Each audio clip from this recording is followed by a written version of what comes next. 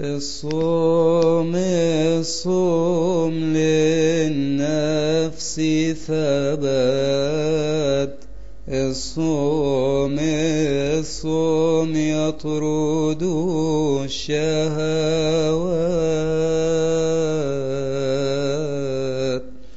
الصوم الصوم يغفر الزلات. ويخلص من كان تعبا. الصوم الصوم يمحي الخطيئة ويزيل الأفكار الشيطانية.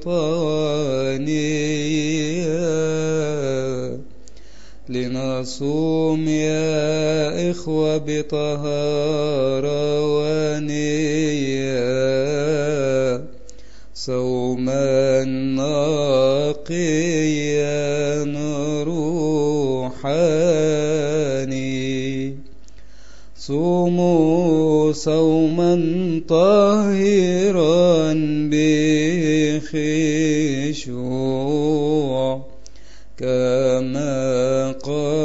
صام الرب يسوع بقلب ذليل مع كثرة دموع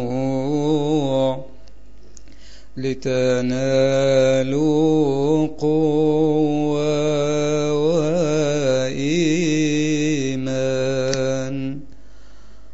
الله المتحنن الرحمن الذي لا يشاء هلاك إنسان كلم يونان قائلا إعلان امضي إلى نينوى يا إنسان. أما النبيون فكان قد مضى إلى ترشيش هربان. وجه الله القوي الديان فوجد سفينة يا إخوان بالنوم فكر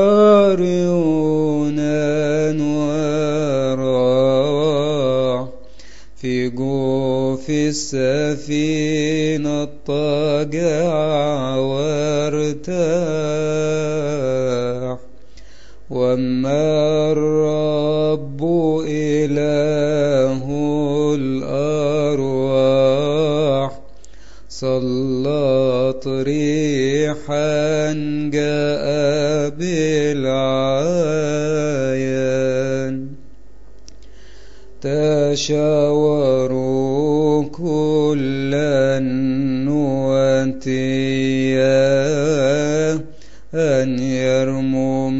في السفينة بالكلية والرياح كانت قوية هجمت عليهم بالعاني. ثم أن الريس نهض وقام ويقظ يونان من المنام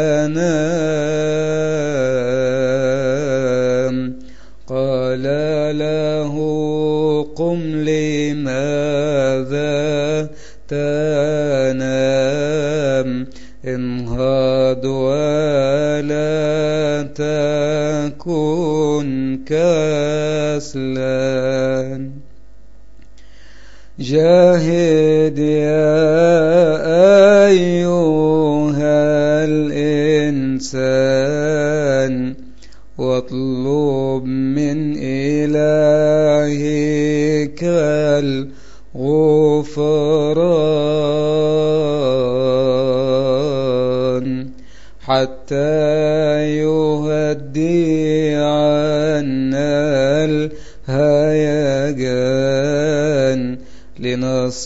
لنصير في راحة واطمئنان حينئذ خافوا الملاحون وتشاوروا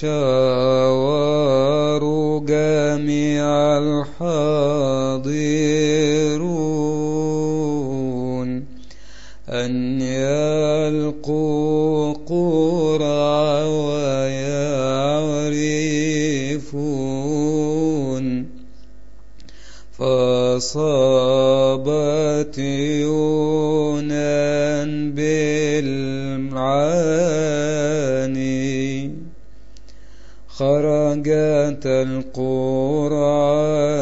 عليه بأمر الرب الساكن فيه. فجاءوا الرجال وطلبوا إليه. اخبرنا بالأمر اللي كان دهش يونان حين سمع الكلمات وقال لهم قولا بثبات.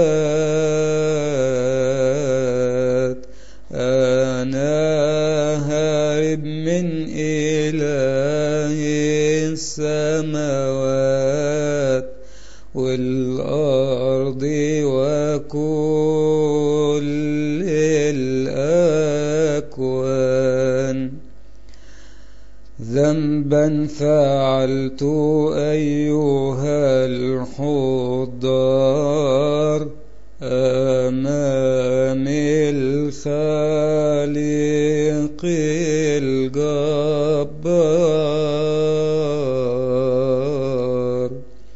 فقالوا له وماذا تختار وكيف العمل فيك يا إنسان؟ رد عليهما النبي المختار بقلب حزين مملوء أضرار. خذوني وارموني في التيار والبحر يعود لأصله تاني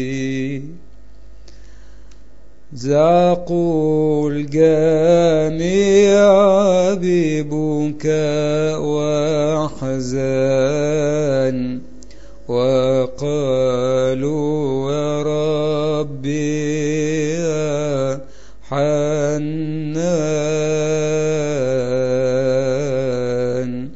لا تهلكنا بسبب هذا الإنسان.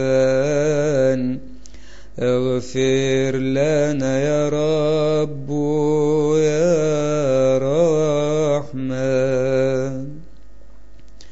سمعوا كلام النبي الكريم. ورموا في وسط البحر العميم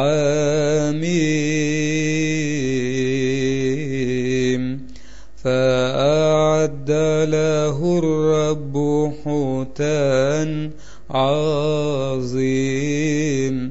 فبلغ عيونا وصار هربا. شهدوا جميع النواتية الأرياح العظيمة القوية. هدئات وبقيت مخفية والأمواج صارت تحتني. صاروا الجميع متحيرين من هذا المنظر حاضرين. وقروا بأنهم مؤمنين. باسم الرب الفوقاني ضاقت نفسه في بطن الحوت وصلى لرب الصباؤوت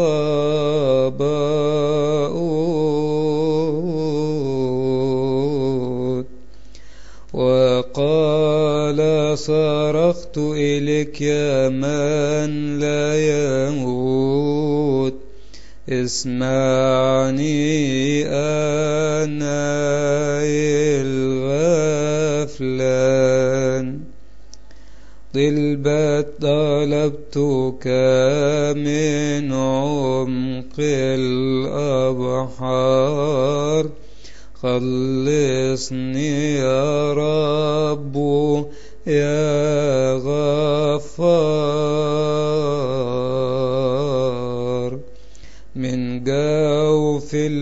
اللجاج مع التيار لأنك رؤوف لا تنساني.